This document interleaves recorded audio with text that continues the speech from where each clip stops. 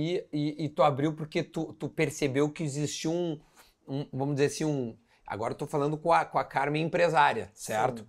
Que tu viu que tinha um nicho de mercado que Porto Alegre não tinha. É, é um mercado diferenciado, aonde a frequentadora de um nível, vamos dizer assim, um nível A, uhum. ela pode frequentar, né?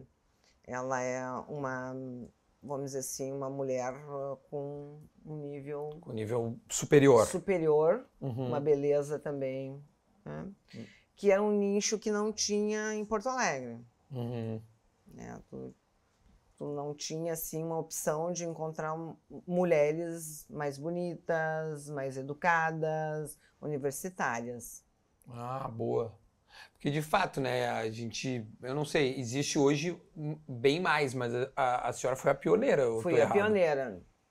Então, em Porto Alegre, mas já, já sabia que existia isso em outros lugares do Brasil. Sim. Não é uma novidade, vamos dizer assim. Com, com, eu tô dizendo com esse nível que tu, que tu tá é, colocando, né? Talvez São Paulo, né? Já... É, São Paulo. São Paulo é chegam sempre, antes. né? Mas chegou a espelhar em alguma casa em São Paulo pra, pra fazer a Carmen? Você sabe que eu nunca tinha entrado numa casa noturna, né? Uhum. Eu sou totalmente, não, não bebo, não, nem gostava muito tu da não noite. bebe? Não. Curioso. É, não fumo. Nossa. É, sim, é bem estranho para. Mas imagino que a oferta seja gigante, né? Trabalhando à noite, né? É, mas eu não.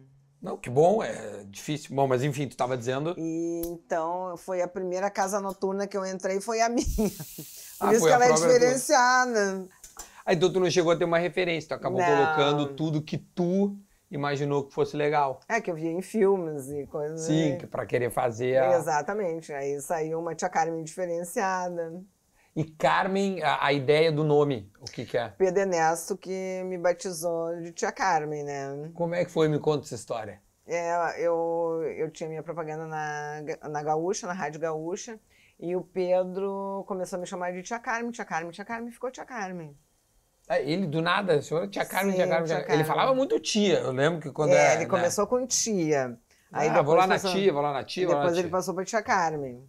Aí ele inventou então o nome. Exato. E aí tu passou a Não, adotar. mas o meu nome, quem me batizou foi a minha irmã. Ah, ela que deu o nome. É, de tia Carmen. E aí ficou. De Carmen, né? Sim, claro, de Carmen, óbvio. E, e, depois o Pedro me batizou de tia Carmen.